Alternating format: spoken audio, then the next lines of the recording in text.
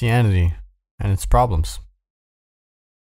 Carl Jung hypothesized that the European mind found itself motivated to develop the cognitive technologies of science to investigate the material world after implicitly concluding that Christianity, with its laser like emphasis on spiritual salvation, had failed to sufficiently address the problem of suffering in the here and now. This realization became unbearably acute in the three or four centuries before the Renaissance. In consequence, a strange, profound, compensatory fantasy began to emerge deep in the collective Western psyche, manifesting itself first in the strange musings of alchemy and developing, only after many centuries, into the fully articulated form of science. It was the alchemists who first seriously began to examine the transformations of matter, hoping to discover the secrets of health, wealth, and longevity. These great dreamers, Newton foremost among them, intuited and then imagined that the material world, damned by the Church, held secrets the revelation of which could free humanity from its earthly pain and limitations. It was that vision, driven by doubt, that provided the tremendous collective and individual motivational power necessary for the development of science, with its extreme demands on individual thinkers for concentration and delay of gratification. This is not to say that Christianity, even in its incompletely realized form, was a failure. Quite the contrary.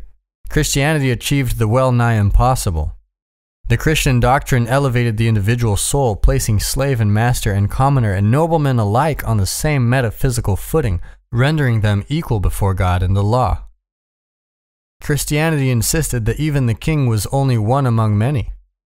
For something so contrary to all apparent evidence to find its footing, the idea that worldly power and prominence were indicators of God's particular favor had to be radically de emphasized. This was partly accomplished through the strange Christian insistence that salvation could not be attained through effort or worth, through works. Whatever its limitations, the development of such doctrine prevented king, aristocrat, and wealthy merchant alike from lording it morally over the commoner. In consequence, the metaphysical conception of the implicit transcendent worth of each and every soul established itself against impossible odds as the fundamental presupposition of Western law and society. That was not the case in the world of the past, and is not the case yet in most places in the world of the present. It is in fact nothing short of a miracle, and we should keep that fact firmly before our eyes that the hierarchical slave based societies of our ancestors reorganized themselves under the sway of an ethical slash religious revelation such that the ownership and absolute domination of another person came to be viewed as wrong. It would do us well to remember as well that the immediate utility of slavery is obvious, and that the argument that the strong should dominate the weak is compelling, convenient, and eminently practical, at least for the strong. This means that a revolutionary critique of everything slave owning societies valued was necessary before the practice could even be questioned, let alone halted, including the idea that wielding power and authority made the slave owner noble, including the even more fundamental idea that the power wielded by the slave owner was valid and even virtuous. Christianity made explicit the surprising claim that even the lowliest person had rights, genuine rights, and that sovereign and state were morally charged at a fundamental level to recognize those rights. Christianity put forward explicitly the even more incomprehensible idea that the act of human ownership degraded the slaver previously viewed as admirable nobility, as much or even more than the slave.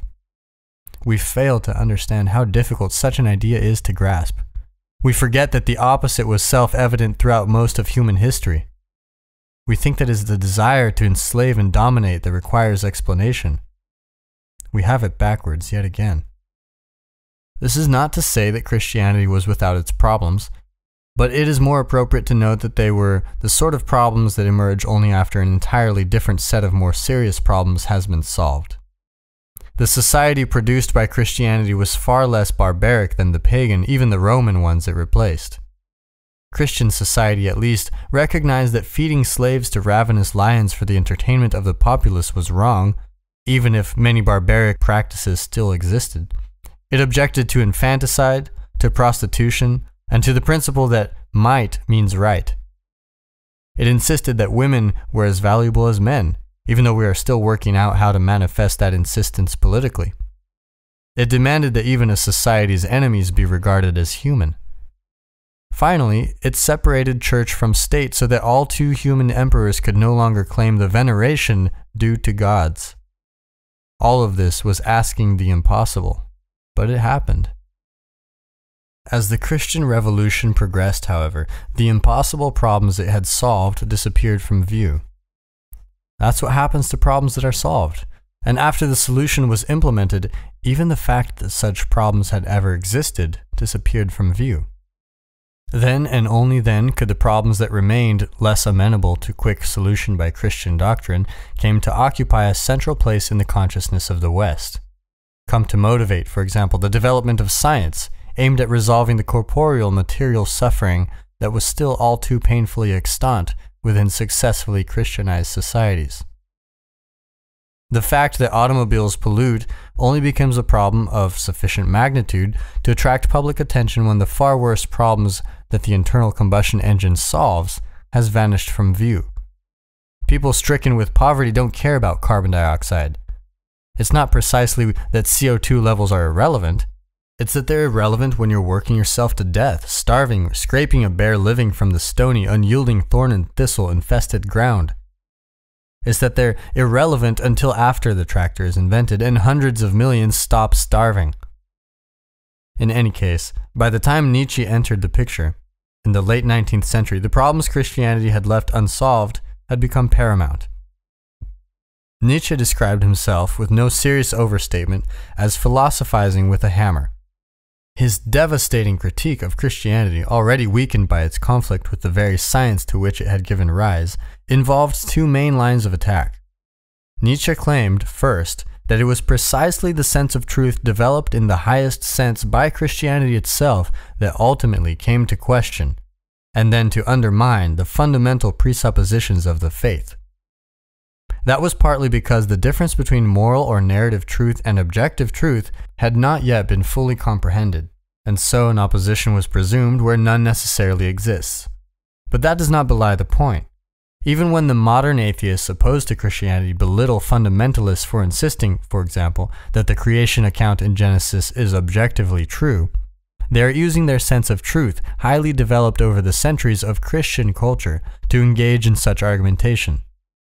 Carl Jung continued to develop Nietzsche's arguments decades later, pointing out that Europe awoke during the Enlightenment, as if from a Christian dream, noticing that everything it had heretofore taken for granted could and should be questioned. God is dead, said Nietzsche. God remains dead, and we have killed him. How shall we, murderers of all murderers, console ourselves? That which was the holiest and mightiest of all that the world has yet possessed has bled to death under our knives. Who will wipe this blood off of us? The central dogmas of the Western faith were no longer credible, according to Nietzsche, given that the Western mind now considered truth. But it was his second attack on the removal of the true moral burden of Christianity during the development of the Church that was most devastating. The hammer wielding philosopher mounted an assault on an early established and then highly influential line of Christian thinking that Christianity meant accepting the proposition that Christ's sacrifice, and only that sacrifice, had redeemed humanity. This did not mean absolutely that a Christian who believed that Christ died on the cross for the salvation of mankind was thereby freed from any and all personal moral obligation, but it did strongly imply that the primary responsibility for redemption had already been borne by the Savior, and that nothing too important to do remained for all too fallen human individuals. Nietzsche believed that Paul, and later the Protestants following Luther, had removed moral responsibility from Christ's followers. They had watered down the idea of the imitation of Christ. This imitation was the sacred duty of the believer not to adhere, or merely to mouth, a set of statements about abstract belief, but instead to actually manifest the Spirit of the Savior in the particular, specific conditions of his or her life. To realize or incarnate the archetype, as Jung had it, to clothe the eternal pattern in flesh. Nietzsche writes, the Christians never practiced the actions Jesus prescribed them, and the impudent, garrulous talk about the justification by faith and its supreme and sole significance is only the consequence of the Church's lack of courage and will to profess the works Jesus demanded. Nietzsche was indeed a critic without parallel. Dogmatic belief in the central axioms of Christianity that Christ's crucifixion redeemed the world, that salvation was reserved for the hereafter, and that salvation could not be achieved through works, had three mutually reinforcing consequences. First, devaluation of the significance of earthly life as only the hereafter mattered. This also meant that it had become acceptable to overlook and shirk responsibility for the suffering that existed in the here and now. Second, passive acceptance of the status quo because salvation could not be earned in any case through effort in this life, a consequence that Marx also derided with his proposition that religion was the opiate of the masses.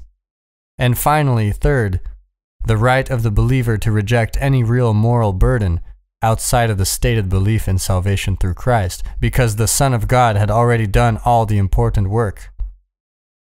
It was for such reasons that Dostoevsky, who was a great influence on Nietzsche, also criticized institutional Christianity, although he arguably managed it in a more ambiguous but also more sophisticated manner.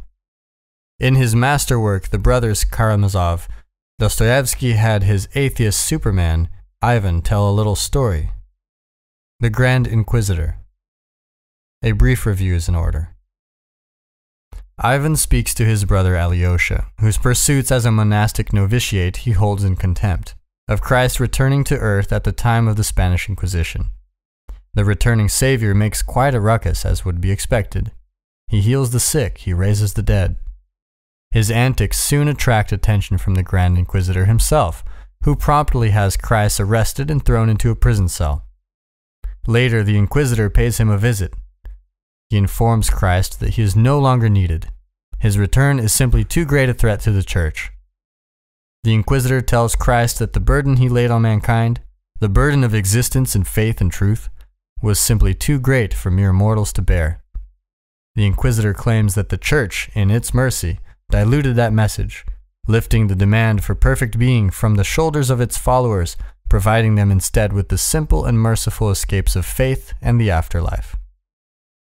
That work took centuries, says the Inquisitor, and the last thing the Church needs after all that effort is the return of the man who insisted that people bear all the weight in the first place. Christ listens in silence. Then, as the Inquisitor turns to leave, Christ embraces him and kisses him on the lips. The Inquisitor turns white in shock. Then he goes out, leaving the cell door open. The profundity of this story and the greatness of spirit necessary to produce it can hardly be exaggerated. Dostoevsky, one of the great literary geniuses of all time, confronted the most serious existential problems in all his great writings, and he did so courageously, headlong, and heedless of the consequences. Clearly Christian, he nonetheless adamantly refuses to make a straw man of his rationalist and atheistic opponents. Quite the contrary. Karamazov, for example, Dostoevsky's atheist Ivan, argues against the presuppositions of Christianity with unsurpassable clarity and passion. Alyosha, aligned with the Church by temperament and decision, cannot undermine a single one of his brother's arguments, although his faith remains unshakable. Dostoevsky knew and admitted that Christianity had been defeated by the rational faculty, by the intellect even.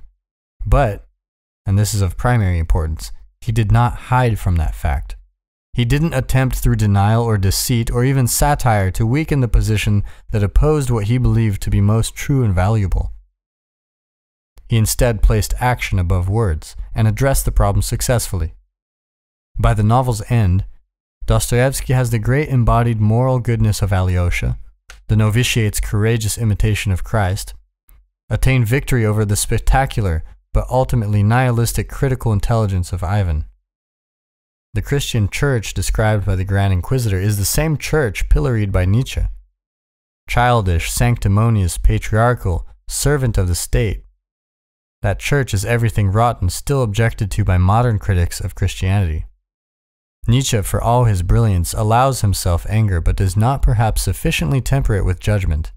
This is where Dostoevsky truly transcends Nietzsche, in my estimation, where Dostoevsky's great literature transcends Nietzsche's mere philosophy. The Russian writer's Inquisitor is the genuine article in every sense. He is an opportunistic, cynical, manipulative, and cruel interrogator willing to persecute heretics, even to torture and kill them. He is the purveyor of a dogma he knows to be false. But Dostoevsky has Christ, the archetypal perfect man, kiss him anyway. Equally importantly, in the aftermath of the kiss, the Grand Inquisitor leaves the door ajar so Christ can escape his pending execution. Dostoevsky saw that the great, corrupt edifice of Christianity still managed to make room for the spirit of its founder. That's the gratitude of a wise and profound soul for the enduring wisdom of the West, despite its faults. It's not as if Nietzsche was unwilling to give the faith, and more particularly Catholicism, its due. Nietzsche believed that the long tradition of unfreedom characterizing dogmatic Christianity, its insistence that everything be explained within the confines of a single coherent metaphysical theory, was a necessary precondition for the emergence of the disciplined but free modern mind. As he stated in Beyond Good and Evil, the long bondage of the spirit the persistent spiritual will to interpret everything that happened according to a Christian scheme, and in every occurrence to rediscover and justify the Christian God in every accident. All this violence, arbitrariness, severity, dreadfulness, and unreasonableness has proved itself the disciplinary means whereby the European spirit has attained its strength, its remorseless curiosity and subtle mobility. Granted also that much irrecoverable strength and spirit had to be stifled suffocated, and spoiled in the process. For Nietzsche and Dostoevsky alike, freedom, even the ability to act, requires constraint. For this reason, they both recognize the vital necessity of the dogma of the Church. The individual must be constrained, molded, even brought close to destruction by a restrictive, coherent, disciplinary structure before he or she can act freely and competently. Dostoevsky, with his great generosity of spirit, granted to the church, corrupt as it might be, a certain element of mercy, a certain pragmatism. He admitted that the Spirit of Christ, the world engendering Logos, had historically, and might still find its resting place, even its sovereignty, within that dogmatic structure. If a father disciplines his son properly, he obviously interferes with his freedom, particularly in the here and now. He puts limits on the voluntary expression of his son's being, forcing him to take his place as a socialized member of the world. Such a father requires that all that childish potential be funneled down a single pathway. In placing such limitations on his son, he might be considered a destructive force, acting as he does to replace the miraculous plurality of childhood with a single narrow actuality. But if the father does not take such action, he merely lets his son remain Peter Pan, the eternal boy, king of the lost boys, ruler of the non existent Neverland. That is not a morally acceptable alternative. The dogma of the church was undermined by the spirit of truth strongly developed by the church itself. That undermining culminated in the death of God. But the dogmatic structure of the church was a necessary disciplinary structure a long period of unfreedom, adherence to a singular interpretive structure is necessary for the development of a free mind. Christian dogma provided that unfreedom, but the dogma is dead, at least to the modern Western mind. It perished along with God. What has emerged from behind its corpse, however, and this is an issue of central importance, is something even more dead, something that was never alive even in the past nihilism, as well as an equally dangerous susceptibility to new, totalizing utopian ideas. It was in the aftermath of God's death that the great collective horrors of communism and fascism sprang forth, as both Dostoevsky and Nietzsche predicted they would. Nietzsche, for his part, posited that individual human beings would have to invent their own values in the aftermath of God's death. But this is the element of his thinking that appears weakest psychologically. We cannot invent our own values because we cannot merely impose what we believe on our souls. This was Carl Jung's great discovery, made in no little part because of his intense study of the problems posed by Nietzsche. We rebel against our own totalitarianism as much as that of others. I cannot merely order myself to action, and neither can you. I will stop procrastinating, I say, but I don't. I will eat properly, I say, but I don't. I will end my drunken misbehavior, I say, but I don't.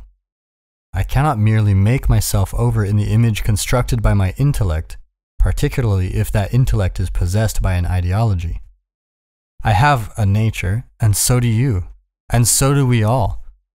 We must discover that nature and contend with it before making peace with ourselves. What is it that we most truly are? What is it that we could most truly become knowing who we most truly are? We must get to the very bottom of things before such questions can truly be answered.